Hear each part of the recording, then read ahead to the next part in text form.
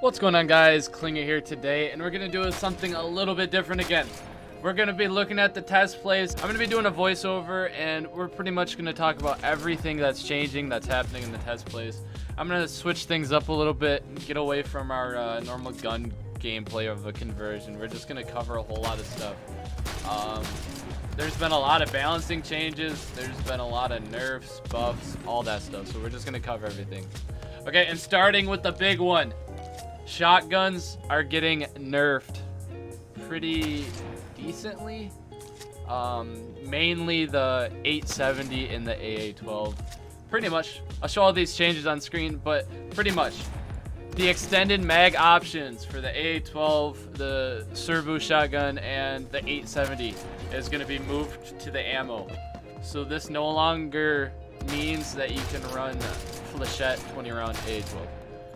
So you're gonna have to choose flechette or 20 round. So you got that.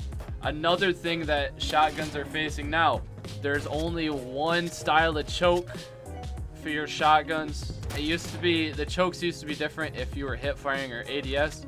They made that all standard one solid choke and that's how it should be IRL. So I'm glad they did this. Um, they're working on ejecting shells properly. Nothing major on that. And yeah, they decreased this spare ammo for the 870 and the Serbu. And yeah, that's probably one of the biggest things for the shotgun. Another thing they did, they worked on the AK-12C variants. Um, you can have a long barrel now, a short barrel, stuff like that. We're just quick buzzing through the uh, the roadmap on the Stylis Discord. They added a 30-06 cartridge to the DBV, so that is going to do 59 damage and drop down to 49, and that is a 20 round mag. So your DBV is going to be a DMR pretty much now. Kind of crazy. They also are working on a China Lake. Um, China Lake from Black Ops 1 is a grenade launcher, but they stated that it's not going to be an explosive. So I'm assuming it's a shotgun. I got a screenshot here that I'll show you guys. Kinda cool. I don't know if it's gonna be, I'd assume it's only a one one shot shotgun and it's probably gonna be a secondary. But yeah, I mean I like the concept, but hey, new potential gun to be uh to be added. Another thing they added is the X95 SMG, the arms core ammo that makes it a shotgun. I already made a video on that. I'm not going to talk too much about it. Um, they added the extended mag to the X95 SMG as well. They added a 7.62 conversion for the uh, the PP Bison, and that gives it 36 damage. It drops down to 20, and it still has a 700 RPM. Has 35 rounds in the mag and 140 in the reservoir. Kind of cool. They also, they're like I said, they're doing a lot of work. I'm just buzzing through this.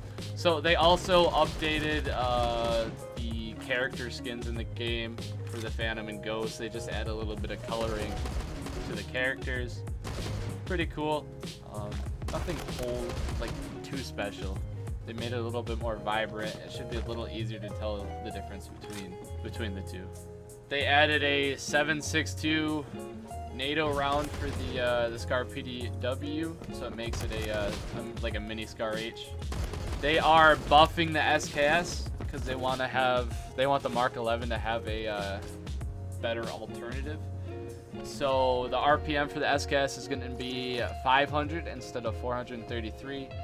20% reload speed, like 20% faster reload speed, uh, faster aim speed, faster movement speed. And for the Halloween update, they are going to be changing the grenades and replacing them with skulls.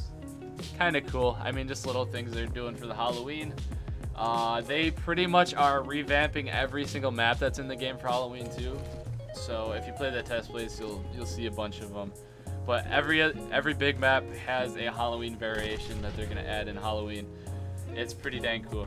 The Remington 700 is going to be buffed a little bit. The range is going to be increased and the aim speed is going to be increased. Um, I've noticed for a little bit that the R700 is kind of slacking in the uh, in the snipers. So hopefully this buff makes it a little better. I'd like to see a little bit of a damage buff, but I don't think they're gonna do that. So we'll have to see how that works. And lastly, the L2A3 is having a 45 ACP conversion. Um, kind of a standard grease gun conversion. It's a uh, 1500 kill unlock. The damage is increased by 25%. Fire volume is increased, so the fire rate's increased. The recoil is obviously increased, and the penetration's lowered, the bullet speed's lowered. And the magazine is 30 rounds instead of, what was it, like 32 or whatever. So I'm interested to see how that goes. Um, they haven't added that in the test place yet. They'll probably will in a couple days. But hey, I think we covered a whole lot of stuff. Oh, we missed one. We missed one. The Groza 1 has a 5.56 NATO conversion. And it has more power close range, but long range it's going to lose the power. Lower penetration, faster bullets. Uh, we'll see how that is. I don't know. I like these little conversions here and there. But yeah, I kind of figured that this wasn't going to be... I should have made a video on everything in general. So I'm just kind of throwing it into a massive video. So there's a bunch of different conversions, balancing changes, all that stuff. And I didn't want to make a video on every single thing, so I kind of threw it together. So there is your weekly test place update. Weekly test place update, we'll call it that. Let me know if you want this in a series. We can make this a series or something like that. But hey, thank you guys so much for watching. We stream six days a week and we have a Discord. Link to both of those will be in the description. But hey, have a fantastic day. I will talk to you later. Peace.